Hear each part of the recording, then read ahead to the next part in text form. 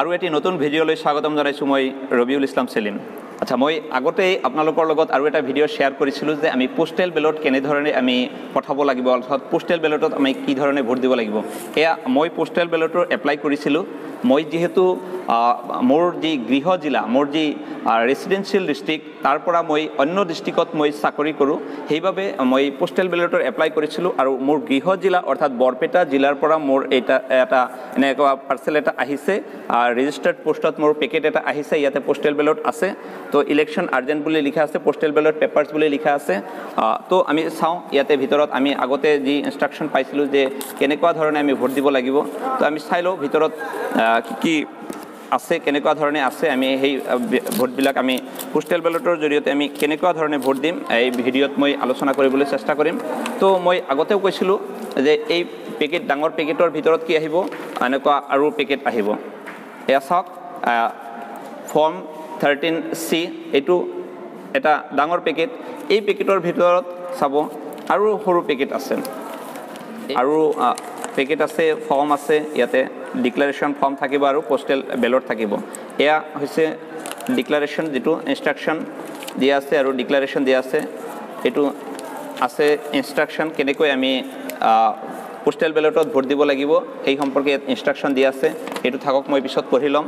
তো এয়া হৈছে ডিক্লাৰেশ্যন বাই ইলেক্টৰ অৰ্থাৎ মই যিহেতু ভোটাৰ হিচাপে মই ভোট দিম তো মই ইয়াতে ডিক্লাৰেশ্যনত মই চহী কৰিব লাগিব ইয়াতে মোৰ ছিগনেচাৰ কৰিব লাগিব মোৰ এড্ৰেছ দিব লাগিব মই আৰু এগৰাকী এটেষ্টিং অফিচাৰ লাগিব। এটেষ্টিং অফিচাৰ কোন হ'ব? মই যিহেতু যি অনুষ্ঠানত চাকৰি কৰোঁ তাৰে প্ৰিন্সিপালগৰাকীৰ দ্বাৰা মই এটেষ্টেশ্যন কৰাই ল'ম মোৰ ছিগনেচাৰটো কাৰণ মোক মই যে ৰবিউল ইছলাম চেলিম হয় সেই ছিগনেচাৰটো এটেষ্টেশ্যন কৰিব মোৰ অনুষ্ঠানৰ প্ৰিন্সিপালে বা বিভিন্ন বিদ্যালয়ৰ তেনেকুৱা head of school gazetted officer যদি হয় তেখেতসকলে চহী কৰিব পাৰিব। আৰু যদি গেজেটেড অফিচাৰ নাথাকে তেতিয়াহ'লে কি কৰিব? অন্য কোনো ওচৰৰ কোনোবা গেজেটেড অফিচাৰৰ দ্বাৰা এইটো ছিগনেচাৰ এটেষ্টেড কৰাই ল'ব। বাকী এই ডিক্লাৰেশ্যন ফৰ্মটো ফিল আপ কৰিব প্ৰথমতে। তাৰপিছত আহিব আপোনাৰ যি পোষ্টেল বেলট এই পেকেটৰ ভিতৰত পোষ্টেল বেলট থাকিব। এইটো হৈছে ফৰ্ম থাৰ্টিন বি ইয়াতে পোষ্টেল বেলট পেপাৰ আছে ভিতৰতে। চাই লওঁ পোষ্টেল বেলটটো কেনেকুৱা ধৰণৰ বেলট এয়া হৈছে পোষ্টেল বেলট যিটো ই ভি এমত যিটো দিছিলে সেইটোৰে এনেকুৱা এটা মানে ফৰ্ম দিয়া হৈছে। ই ভি এমত বহুত দীঘলকৈ আছিল দীঘলকৈ দিলে অসুবিধা হয়। তো এনেকুৱা ধৰণে আছে। ইয়াতে যিকেইজন প্ৰাৰ্থীৰ নাম আছে মই যিহেতু বৰপেটা জিলাৰ চল্লিছ নং সৰভোগ বিধানসভা সমষ্টিৰ এগৰাকী ভোটাৰ সেয়েহে সেই সমষ্টিৰ যিসকল প্ৰাৰ্থী আছিলে সেই প্ৰাৰ্থীসকলৰ নাম সন্নিৱিষ্ট কৰা যিটো বেলট পোষ্টেল বেলট এয়া আছে। প্ৰথমতে আছে মনোৰঞ্জন তালুকদাৰ তাৰপিছত আছে শংকৰ চন্দ্ৰ দাস তাৰপিছত দেৱানন্দ দাস প্ৰকাশ ব্ৰহ্ম মতিয়াৰ ৰহমান শান্তনু মুখাৰ্জী আব্দুল হান্নান ইকবাল হুছেইন দীপেন বৰ্মন ফয়জান নেচা আৰু শেষত আছে ওপৰৰ এজনো নহয় অৰ্থাৎ এইটো নটা। তো মই যিকোনো এগৰাকী প্ৰাৰ্থীক মই ভোটদান কৰিম। যিগৰাকী প্ৰাৰ্থী মোৰ পচন্দৰ তে সেইগৰাকী প্ৰাৰ্থীৰ যি চিম্বল আছে এই চিম্বলবিলাক যি আছে এই চিম্বলৰ ওচৰতে চিম্বলৰ ৰাইট ছাইডত হয় মই এটা কলমেৰে টিক চিন টিক চিন দিম নাইবা ক্ৰছ চিন দিম। টিক চিন দিলেও হ'ব এই চিম্বলৰ এগেইনষ্টত টিক চিন দিলেও হ'ব ৰাইট চিন নাইবা ক্ৰছ চিন দিলেও হ'ব যিকোনো এটা দিব লাগিব।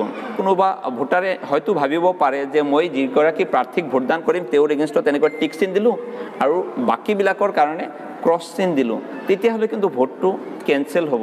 সেইকাৰণে বন্ধুসকল মই এইটো এইকাৰণেই দেখুৱাইছোঁ যে যাতে আমি কি কৰোঁ যিগৰাকী প্ৰাৰ্থীক ভোটদান কৰিম সেই প্ৰাৰ্থীৰ যি চিম্বল চিম্বলৰ ৰাইট ছাইডত যিখিনি খালী জেগা আছে এনেকুৱা সেই খালী জেগাত আমি কি কৰিম টিক চিন মাৰিম বা ক্ৰছ চিন দিম। তেতিয়া বুজা যাব যে মই সেইগৰাকী প্ৰাৰ্থীক ভোটদান কৰিছোঁ।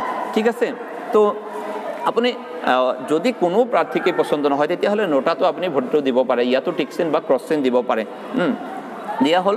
আৰু এটা কাম কৰিব যে এনেকুৱা দুগৰাকী প্ৰাৰ্থীৰ মাজৰ অংশত যাতে টাচটো নপৰে আপোনাৰ যি টিক চিন বা ক্ৰছ চিন সেইটো যাতে দুইগৰাকী প্ৰাৰ্থীৰ চিম্বলৰ মাজত টাচটো নপৰে সেইটো মন দিব লাগিব। দি পেলাই এইটো আগৰ নিচিনাকৈ এইদৰে ভাজ কৰিব ভাজ কৰি পেলাই এইদৰে আকৌ কি কৰিব এই যে আপোনাৰ যিটো পেকেট আছিল যিটো পেকেটত এইটো আছিলে সেই পেকেটত এনেদৰে সোমাই দিব। সেই পেকেটৰ ভিতৰত সোমাই দিব। ভোট দিয়াৰ পিছত দেই ভোট দিয়াৰ পিছত এইটো এইটো সোমাই দিব ফৰ্ম যি thirteen B postal ballot paper ইয়াতে সোমাই দিব আপুনি।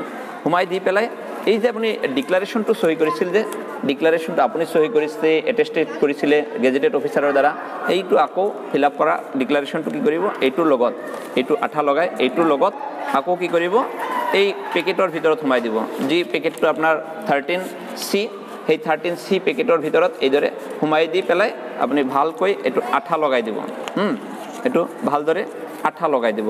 আঠা লগাই পেলাই ইয়াতে চাওক আপোনাৰ সকলো লিখাই আছে প্ৰায় ক'লৈ যাব। এই চিঠিটো যিহেতু আপুনি পোষ্ট কৰিব লাগিব পোষ্ট অফিচৰ জৰিয়তে পঠাব লাগিব ইয়াত লিখাই আছে। To the returning officer forty number Sarbhog L A C postal ballot paper cell Barpeta জিলা পৰিষদ office pin seven eight one three zero' one অৰ্থাৎ এই ঠিকনাটো অলৰেডি ইয়াত লিখা আছে তালৈকে যাব। মাত্ৰ মই কি লিখিম ইয়াতে মোৰ নাম আৰু মোৰ ঠিকনাটো লিখিব লাগিব name and address of sender অৰ্থাৎ মোৰ নাম আৰু ঠিকনা ইয়াত লিখি পেলাই ইয়াতে এটা কৰিব লগা আমাৰ একো নাই। ইয়াত কোনো পোষ্টেল যি আপোনাৰ ষ্টাম্প সেই ষ্টাম্প লগাব নালাগে। কোনো খৰচ নাই ইয়াতে। মাত্ৰ আপুনি আঠা লগাই পোষ্ট অফিচত এইটো জমা কৰিব। ঠিক আছে? তো এইখিনি হৈছে আপোনাৰ পোষ্টেল বেলটৰ জৰিয়তে ভোটদানৰ মূল প্ৰক্ৰিয়া।